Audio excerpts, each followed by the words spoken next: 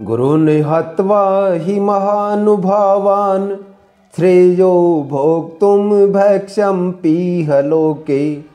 हत्वार्थकामांस्तु गुरुनिहैव भुंजीय भोगान रुधिर प्रदिग्धान। इसलिए इन महानुभाव गुरुजनों को न मारकर मैं इस लोक में भिक्षा का अन्न भी खाना कल्याणकारक समझता हूँ। क्योंकि गुरुजनों को मारकर भी इस लोक में रुधिर से सने हुए अर्थ और कामरूप भोगों को ही तो भोगूँगा।